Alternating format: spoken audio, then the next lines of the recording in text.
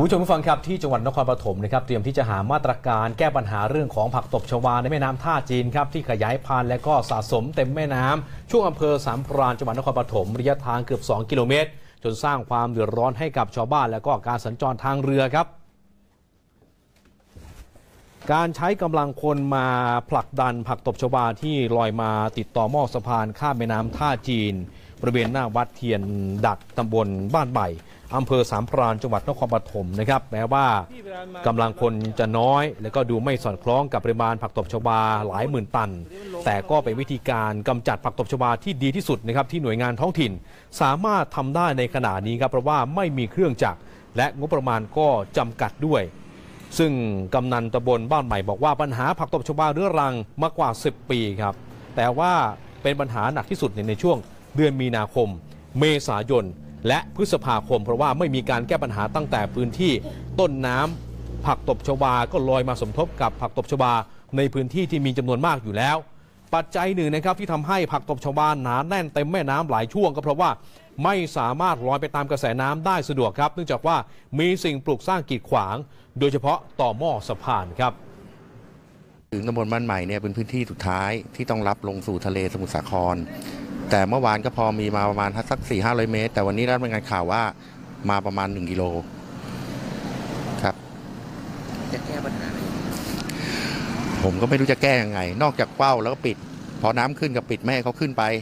ทำความเดือดร้อนให้ชาวบ้าน พอน้ำลงก็เปิด ให้เขาลงสู่ทะเล ก็ทำอย่างนี้อยู่ตลอด ไม่รู้จะทำยังไงต่อไปครับ ผักตบชวานะครับก็เป็นพื้นที่ เจริญเติบโตได้อย่างรวดเร็วครับ ซึ่งผักตบชวาหนึ่งต้น สามารถให้เมล็ดได้ถึง 5,000 เมล็ด ผักตบชวา 10 ต้น จึงแพร่กระจายได้ถึง 1 ล้านต้นภายใน 1 ปี โดยแต่ละวันครับมีผักตบชวาจากแม่น้ำท่าจีนลอยลงสู่อ่าวไทยไม่น้อยกว่า 2,000 ตันครับแล้วก็ยังมีสะสมในแม่น้ำหลายจุด และมีประมาณมากครับหน่วยงานในพื้นที่จึงพยายามที่จะกำจัดด้วยวิธีภูมิปัญญาท้องถิ่น และประสานขอเครื่องจักรจากหน่วยงานต่างๆ มาช่วยเหลือครับ ไขปัญหาระยะยาวนะครับ ต้องขอเรียนว่ามันมันด้วยความที่ว่ามีมีจำนวนมากนะครับ ในการที่จะขุดขุดขึ้นหรือกำจัดให้หมดไปก็คงจะเป็นเรื่องที่ค่อนข้างลำบากนิดหนึ่งนะครับ เพราะว่ามันเป็นแม่น้ำนะครับเป็นแม่น้ำขนาดใหญ่ แต่ถ้าในส่วนของแหล่งน้ำปิด ไม่ว่าจะเป็นครูคลองต่างๆเนี่ยสามารถที่จะดำเนินการได้เห็นผลทันทีเลยครับผักตบชวานะครับเป็นวัชพืชร้ายแรงเป็นอันดับที่ 8 ของโลกครับแล้วก็กำลังเป็นปัญหาระดับชาติของไทย ที่ยังไม่สามารถจัดการได้ แม้ว่าจะสามารถนำไปสร้างมูลค่าได้ เช่น การทำปุ๋ยและจักสารเป็นสินค้าชุมชน แต่ว่าไม่ได้รับการส่งเสริมอย่างจริงจังนะครับทำให้ผักตบชวากระจายพันธุ์ในแม่น้ำสายหลัก โดยเฉพาะครับพื้นที่ภาคกลางทำให้ที่ผ่านมาประเทศไทย ต้องสูญเสียงบประมาณกำจัดผักตบชวา และวัชพืชในแหล่งน้ำกว่า 2,000 ล้านบาทด้วยกันนะครับ ทีมข่าวของเราลงพื้นที่ไปสำรวจแล้วก็รายงานสดเข้ามาเนี่ยนะคะ ปรากฏว่าในบรรยากาศที่เห็นภาพที่เห็นก็คือ มีการเข้าไปจัดการกำจัดผักตบชวาของตัวประชาชน แต่ยังไม่ได้เห็นการร่วมมือร่วมใจกันของหน่วยงานภาครัฐที่จะเข้าไปแก้ปัญหานี้ แต่ว่าก่อนหน้านี้ทางด้านของผู้ว่าราชการจังหวัดนครปฐมก็ออกมา ชี้แจงเกี่ยวกับเรื่องนี้แล้วค่ะ บอกว่าโดยเฉพาะในช่วงของอากาศร้อนแบบนี้นี่แหละยิ่งเป็นตัวกระตุ้นทำให้ผักตบชวาเนี่ยขยายพันธุ์อย่างรวดเร็ว แล้วก็ระยะนี้น้ำในแม่น้ำท่าจีนค่อนข้างที่จะมีระดับน้ำน้อย แห้งขอดด้วย ก็เลยทำให้รากหรือว่าตัวผักตบชวาเนี่ยไปเกาะกันแน่นมากขึ้น ก็เลยเป็นแพรขนาดใหญ่อย่างภาพที่คุณผู้ชมเห็นเนี่ยแหละค่ะเอาออกมายากกำจัดได้ยาก ยังต้องหาวิธีการที่จะกำจัดผักตบชวาในปริมาณมาก ๆ แบบนี้ ท่านผู้ว่าบอกว่าเรื่อยยาวมาเลยตั้งแต่อำเภอนครชัยศรีลงมาจนถึงอำเภอสามปรานเนี่ยเป็นแพรยาว เรื่อยลงมาแบบนี้เลยนะคะ ผักตบชวาเป็นจำนวนมาก เบื้องต้นประสาน 3 จังหวัดที่จะร่วมมือกันกำจัดผักตบชวาในครั้งนี้ก็คือสุพรรณบุรี นครปฐมแล้วก็คือสมุทรสาคร คือสุพรรณบุรีเนี่ยเป็นต้นน้ำเลย ครับ เป็นต้นทางที่เกิดผักตบชวา กลางน้ำคือนครปฐมและปลายน้ำที่ผักตบชวาบางส่วน จะไหลไปก็คือสมุทรสาครค่ะ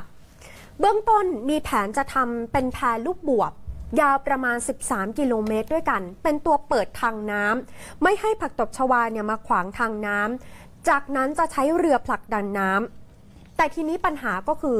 ต้องไปหาพื้นที่ที่มีมากพอสำหรับนำผักตบชวาที่เก็บมาได้เนี่ยขึ้นไปพักหรือฝังกลบ เพื่อที่จะนำไปทำปุ๋ยต่อไปด้วย เนี่ยแหละค่ะอีกปัญหาหนึ่งที่จะต้องคิดต่อด้วยเหมือนกัน อย่างที่คุณวิสาบอกไป 3 จังหวัดที่มีการจับมือร่วมกันกำจัดผักตบชวาในครั้งนี้ เป็น 3 จังหวัดที่เป็นเส้นทางของแม่น้ำท่าจีน สุพรรณบุรีคือต้นสายนะคะ เนื่องจากว่าเป็นจุดที่จะมีการระบายน้ำของเขื่อนเจ้าพระยา ลงสู่แม่น้ำน้อย น้ำจากเขื่อนเจ้าพระยาที่ระบายลงสู่แม่น้ำน้อย ก็จะนำผักตบชวาลงไปด้วย จะมีการไหลไปรวมกันที่อำเภอบางเลนในจังหวัดนครปฐมแน่นอนจุดนั้นเป็นเส้นทางของแม่น้ำท่าจีน ซึ่งเป็นแม่น้ำสายใหญ่ จากนครปฐมท้ายที่สุดน้ำจากนครปฐมรวมถึงผักตบชวาที่ไหลไปกองรวมกัน จะไหลลงสู่จังหวัดสมุทรสาคร สาเหตุที่ทำให้ผักตบชวา กองกันเป็นจำนวนมาก เนื่องจากว่าปัญหาน้ำขึ้นน้ำลงค่ะโดยเฉพาะในพื้นที่จังหวัดนครปฐมจุดนั้นชาวบ้านบอกว่า เนื่องจากว่าปัญหาน้ำขึ้นน้ำลงทำให้ผักตบชวาไหลลงสู่ทะเลได้ยาก อย่างวิธีการที่คุณวริษาบอกไปที่บอกว่าชาวบ้านเนี่ยเขานำไม้ไผ่มาผูกกันเป็นแพรลูกบวบวิธีการนี้จะเป็นการกันผักตบชวาให้อยู่ด้านหนึ่งของแม่น้ำเพื่อที่จะให้แม่น้ำปราศจากผักตบชวาในด้านหนึ่ง และสามารถให้เรือ ไหลไปได้ให้เรือสัญจรไปได้ ครับเป็นวิธีการของชาวบ้านชาวบ้านบอกว่าในเวลาน้ำขึ้นน้ำลง เขาต้องทำแบบนั้นเป็นธรรมชาติ อืม เพื่อจะให้ผักตบชวาเนี่ยค่ะไหลลงสู่ทะเล ซึ่งถือว่าเป็นวิธีการธรรมชาติ เพราะหากว่าผักตบชวาไปเจอน้ำเค็ม มันจะตายเองโดยธรรมชาติ แต่ว่าณตอนนี้นะครับหน่วยงานท้องถิ่นนะครับไม่มีกำลังหลวงงบประมาณเพียงพอนะครับในการที่จะกำจัดผักตบชวา ที่หนาแนั่นแบบนี้ทุกปีฮะปัญหาที่ตามมาครับอย่างที่เห็นนะฮะว่าเรือเนี่ยโดยสารนะครับที่แม่น้ำท่าจีนเนี่ยการสัญจรไปมายากลำบากครับ แม้แต่ว่าเรือใหญ่ๆเองนะครับก็ยังสัญจรยากเลย แต่ว่าพูดถึงว่าเมื่อก่อนเนี่ยฮะผักตบชวานี่ถือว่าเป็นไม้ประดับนะฮะนำเข้ามาเมื่อปีพศ 2444 ครับตอนนั้นเนี่ยคนสมัยก่อน ใช้ผักตบชวาหรือเอาดอกของมันนะครับมาทัดหูด้วยค่ะแต่ว่าถิ่นกำเนิดมันเนี่ยอยู่ที่ลุ่มน้ำอเมซอนที่บราซิลนะฮะแล้วพอมานะครับนำเข้าเข้ามาที่ประเทศไทยแล้ว มันเติบโตไวมากค่ะคือภายหนึ่งเดือนหนึ่งเดือนเนี่ยโอ้โหมันโตไวเหลือเกินครับ แล้วแม้ว่าถ้าเกิดว่าพอมันโตในน้ำวันหนึ่งเนี่ยน้ำแห้งไป ปรากฏว่าเมล็ดมันนะฮะก็ไปตกอยู่ตามนะครับพื้นดิน พอน้ำขึ้นมาเท่านั้นแหละครับ กระจายตัวอย่างรวดเร็วนี่ก็คือว่าเป็นปัญหาที่ตามมาของชาวบ้านครับ